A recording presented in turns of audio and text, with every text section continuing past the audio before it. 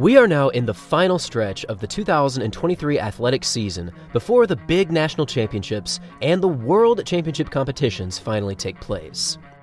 It's been a pretty wild ride so far this season, with 5,000 meter running now going completely insane, Mondo Duplantis continuously making the 6 meter pole vault look like it's nothing, Karsten Warholm is back in style, Jakob Ingebrigtsen is completely owning middle distance right now, and of course, the speedsters are still lighting up the track, blazing the 100 and 200 meter events, and they are looking very compelling at this point. There is so much talent continuing to rise up, and records are relentlessly falling, that I cannot help but think that come this year's World Championships, we are set to see something quite amazing. And speaking of amazing, there is one athlete right now from a very small country in Africa that is doing something that hasn't been done in close to 20 years. And the real possibility of a historic moment in this year's World Finals is only becoming more and more of a reality. On August 21st of 2004, the women's 100-meter Olympic finals took place in Athens, Greece. Now, this field was super loaded with talent, as it included Lauryn Williams, Veronica Campbell Brown, Aleen Bailey, and Sherone Simpson. However, the ultimate victor on this day was Yulia Nesterenko from Belarus.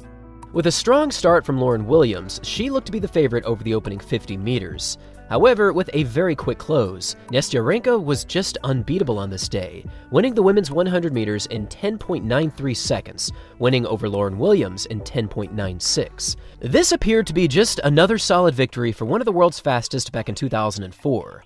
However, this single moment actually is much more significant than many people realize, and it set forth a sequence of events that completely changed the women's 100 forever. Since this single race in the Athens Olympic Games, the women's 100 meters would forever be dominated by two countries, and these countries were Jamaica and also the United States. Since 2004, the Olympic finals and World Championship finals have only included these two countries at the very top of the podium. In 2005, Lauryn Williams ultimately got her revenge, and then in 2007, we saw the Jamaicans officially take control as Veronica Campbell Brown ultimately took the victory. However, as this decade came to a close, we would start to see the real powerhouses of women's sprinting finally arrive, as Shelly-Ann Fraser-Pryce and Elaine Thompson-Herah, both from Jamaica, quickly proved to be two of the greatest championship runners of all time. Between 2008 and 2022, Thompson-Herah and Fraser-Pryce won nine global championship finals in the 100 meters, breaking pretty much every imaginable record along the way. And in a further breakdown of these two legends, we can see that out of the top 20 fastest races in women's 100 history, these two have a crazy amount of performances to their name. In fact, why don't you take a guess at what these two have achieved in this category? Maybe it's 8 total times, or perhaps something like 12. Well, the actual truth is that these two have 16 out of the top 20 fastest times ever run in the women's 100 meters, and they've all pretty much been achieved over the past three or four seasons. To put it simply, Jamaicans, along with women from the United States, have more or less owned this single event since the year 2005. However, against the history of this event, we are seeing one athlete make a real attempt to break this streak in 2023 and her name is Marie-Josée Talu from the Ivory Coast. Ta Lou has been running very consistently since the year 2016, breaking the 11 second barrier with regularity and hitting a new personal record of 10.72 seconds in the 2022 season. However, despite her super quick running and relentless fast times over the previous few years, she has always finished in the shadows of her Jamaican and American rivals, winning two silver medals in 2017 and winning a bronze medal in the Doha Finals in 2019. Across her career, Ta Lou has actually made it to a total of four separate Olympic and World Championship finals, but for one reason or another, a gold medal has continued to elude her. However, what we are seeing in 2023 very well could change the history of the women's 100 meters. So far this season, Ta Lou has been on an absolute tear of 100 meter excellence. From May 6th up to present day, Ta Lou hasn't lost a single 100 meter race, and along with her great starting abilities and her amazing top end speeds, she's been completely unbeatable in the women's 100. However, on June 15th in the Bislett Games in Oslo, Norway, she achieved a super quick time of 10.75, which was not only a new season's best for her this year, but was also the fastest time in the world for a female athlete in the 100 in 2023.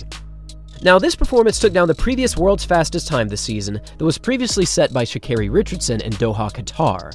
And with incredible top speed again, Ta Lou only continued to prove her greatness on this day.